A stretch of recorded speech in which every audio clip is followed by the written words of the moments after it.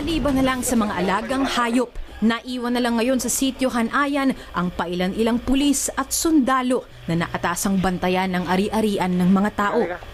Tropa na at hindi estudyante ang nasa harap ng mga classroom ng Alcadev. Ito ang high school ng mga lumad na pinapatakbo ni Emok Samarka, isa sa tatlong leader na pinatay noong September 1. Mahigit isandaan ang estudyante at gaya ng ibang paaralan, nagtuturo ng math, English at home economics. Pero ayon sa mga intelligence report ng Armed Forces of the Philippines, may itinatagong sikreto ang Alcadev School. Training school daw ito ng New People's Army o NPA at tinuturuan ito ang mga batang humawak ng baril. Kung totoo man yun, walang ebidensyang naiwan sa Alcadev na direktang kumukumpirmang inaarmasan nga ang mga estudyante. Ang mayroon ay mga palatandaan ng aktivismo. Sabi ng poster na ito, mga lumad, pagtibayin ang hanay, labanan ng militarisasyon at pagnanakaw sa ancestral domain. Sa faculty room, may mga material na nagtuturong labanan ang K-12 program ng Department of Education. At napulot ng isang pulis ang libro ng National Democratic Front tungkol sa mga patakaran ng human rights na dapat sundin ng gobyerno at Communist Party of the Philippines. merong maaring radikalisasyon ng mga estudyante. Okay naman po yung edukasyon pero paghahaloan ng radikalisasyon hindi po. Halos lahat ng mga estudyante at guro ng Alcadev lumikas din kasama ng ibang lumad sa evacuation center sa Tandag City.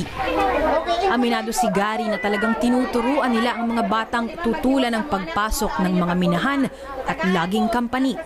Masisira raw kasi ng mga ito ang kabundukang tinitirhan ng mga lumad. Kung tinuturuan yung bata na ah, dapat protektahan natin yung kalikasan, masama ba yan? NPE na ba yan? Hindi naman, di ba? Parang narinig ko ng mga ganyan, parang yung mga balibo ko parang tumatayo eh. Ipinakita nila sa amin kung ano ang edukasyong tatak Alcadev. Nagpaskil sila ng mga salita at sinabi sa mga batang gamitin ang mga ito sa pangungusap. Daluman evacuates because of militarization. Our ancestral land has abundant minerals. That's why the AFP, Armed Forces of the Philippines, militarization, killing. Merito Samarka, Junil, and Dato Bilusinso are killed of Magahat and AFP, ar- or Armed Forces of the Philippines. Ayon sa Alcadev, tinuturuan lang nila ang mga lumad kung paano ipaglaban ang karapatan nila. Pero ayon sa iba, natututunan na ng mga bata kung paano tumutol at magalit sa pamahalaan. Ayaw munang husgahan ni Brother Armin Luistro ang Alcadev dahil may interagency group na naatasan ng imbestigahan ito. Laking pasalamat din kasi ni Luistro sa mga gurong pumupunta kung saan hindi pa kayang abutin ng DepEd. Pero dapat aniya pag-ingatan kung ano ang sinasabi sa mga kabataan. Ang dali kasing mamanipulate ang mga bata. Dapat klaro naman yung nagtuturo na hindi natin minamanipulate yung katotohanan. Hindi natin kinukulayan. Pagka yung teacher, pinapasukan na yung interpretasyon at siya na mismo yung nag interpret para sa mga bata. In general, no-no yan. Simple lang ang pakiusap ni Brother Armin sa lahat ng paaralan.